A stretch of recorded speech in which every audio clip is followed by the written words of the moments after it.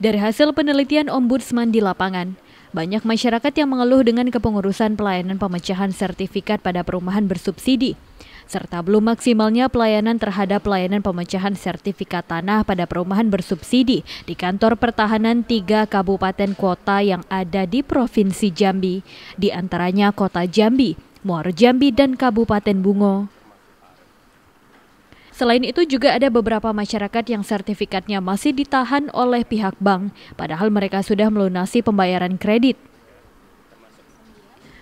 Asisten Ombudsman Republik Indonesia Perwakilan Jambi, Abdul Rohim menyatakan, tiga kantor pelayanan pemecahan sertifikat tanah tersebut tidak sesuai dengan bab 5 pasal 20, pasal 38 Undang-Undang 2009 tentang pelayanan publik.